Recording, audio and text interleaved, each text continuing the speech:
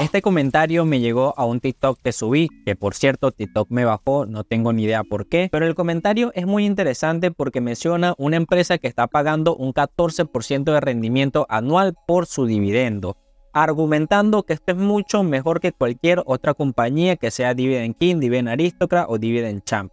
Pero hoy te voy a explicar por qué un rendimiento del 14% puede ser algo bastante traicionero y no tiene mucho sentido, además de ser peligroso porque puedes perder tu dinero. Por favor, acompáñame en pantalla. Pero antes te recuerdo que me puedes apoyar suscribiéndote, dejando un like y un comentario. De esta manera voy a saber que te gusta este tipo de contenido y lo voy a seguir trayendo de manera más rápida. Ahora sí, dentro video.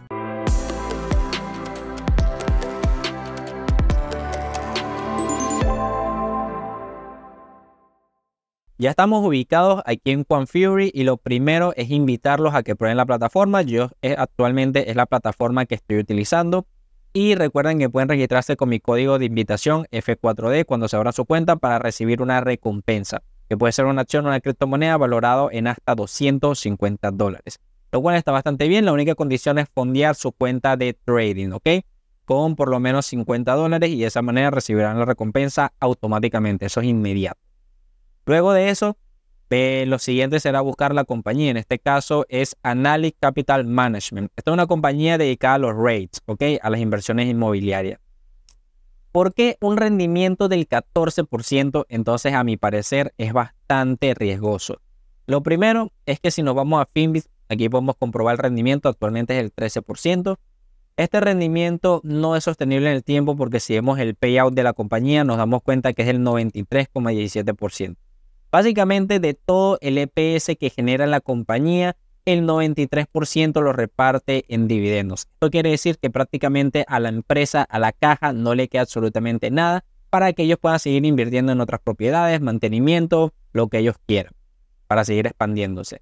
En este sentido, esto es algo que hay que evaluar mucho a la hora de invertir en dividendos, no porque un dividendo sea muy alto significa que sea una buena inversión, y este gráfico es la mejor prueba de esto.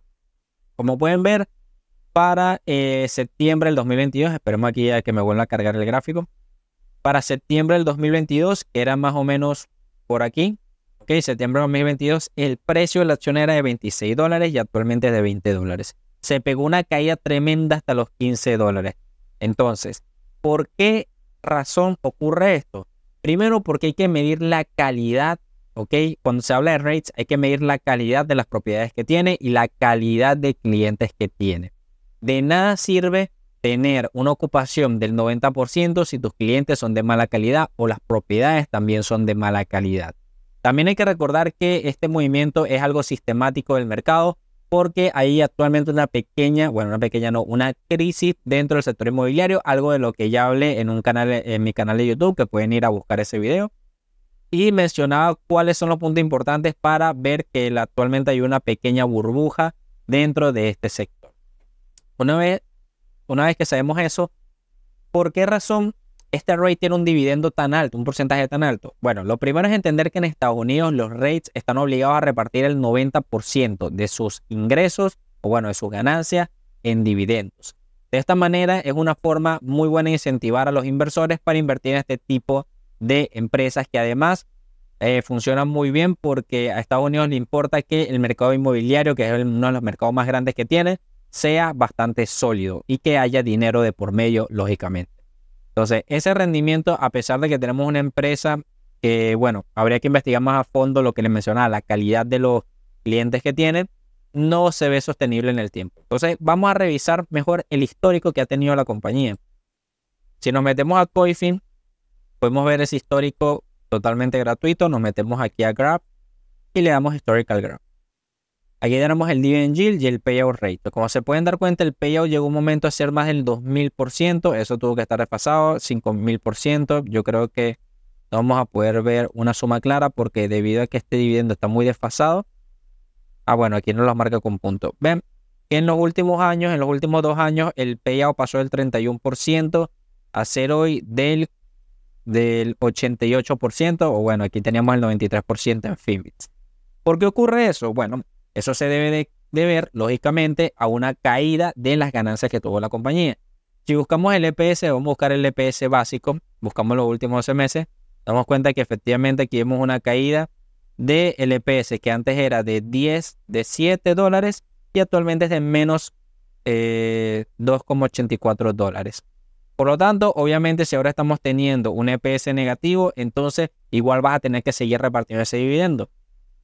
Pero si ellos no logran recuperar las ganancias, si no logran aplicar alguna estrategia o incrementar sus ventas o quién sabe qué otra estrategia puede aplicar este, la gerencia para recuperar esas ganancias, entonces la compañía va a verse en dificultades para pagar el dividendo y lo van a tener o que recortar o cancelar. Y si llega a pasar eso, esta caída que vemos aquí no va a ser nada en comparación a la caída del 50% que tienen normalmente las acciones cuando recortan el dividendo. Eso de verdad que sería horrible porque perderías por dos lados. Primero, perderías la revalorización de la acción y segundo, perderías por el dividendo que ya no vas a recibir.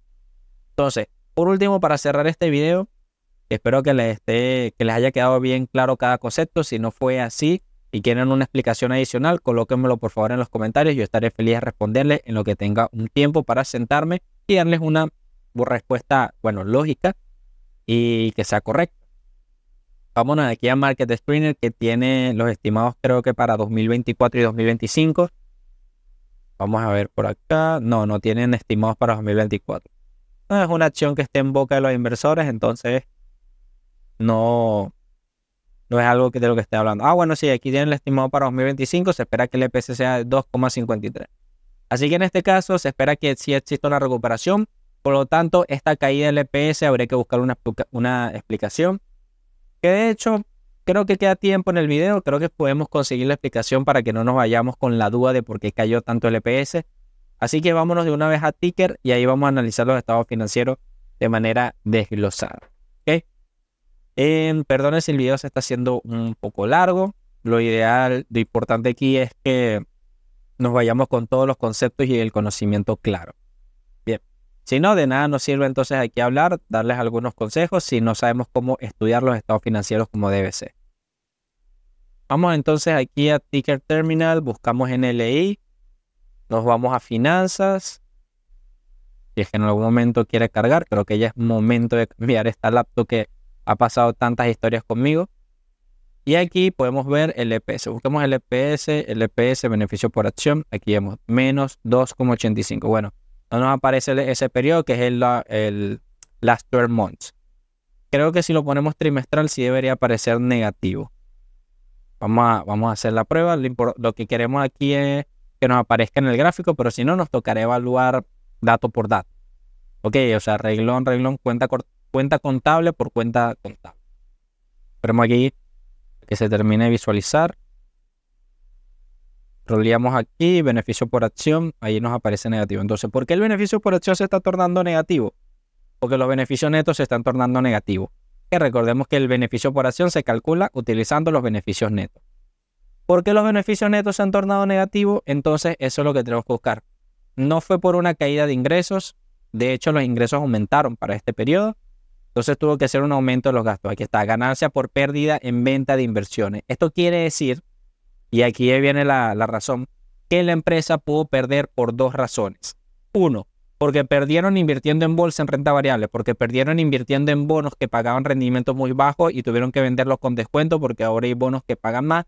O tres, porque tenían propiedades que tuvieron que vender con descuento para salir de ellas por alguna razón. Puede ser que vemos cómo aquí pasó esa pérdida de ser de 615 a ser de 2700. Prácticamente se multiplicó por 4 esa pérdida y eso provocó que el beneficio sea negativo. Bueno, ahí lo tenemos. Espero que te haya gustado el análisis. Recuerda, puedes registrarte en Fury. Es una gran plataforma. Tiene un gran poder de trading. No te cobra comisiones. Puedes depositar en Latinoamérica con pesos colombianos. Puedes depositar pesos, eh, pesos argentinos, no, disculpa, con pesos chilenos, pesos mexicanos próximamente quizás pongan peso argentino, puedes depositar con criptomoneda, puedes retirar cuando tú quieras, es una excelente plataforma, les recomiendo que la pruebe. Tiene una gran aplicación móvil y tiene TradingView Pro totalmente gratis para utilizar todos los indicadores que tú quieras. En fin, sin más que decir, nos veremos en un próximo video. Hasta pronto.